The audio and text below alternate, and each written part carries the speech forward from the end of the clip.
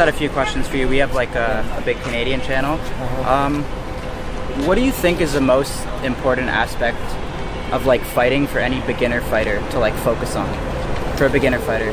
Because basically, me like I want to be like a fighter. Like just recently, because like my girlfriend went out in Miami and she told me she was just having a girls' night, and then she ended up hooking up with Jorge Masvidal. Like he like slept with her. So now I, I like I want to fight that guy.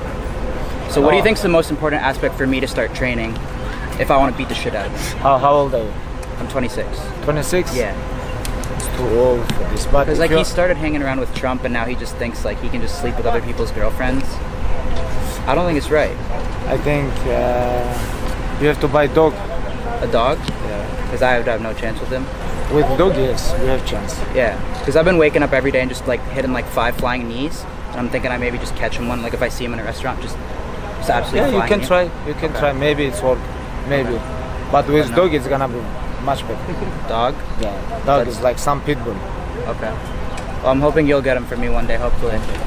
Nice Thank you, man. Good luck. Thank you so much. Thank Good you, luck, guys. Cheers. Well, there you go. So we're gonna need to get a dog. Can I use your pit bull?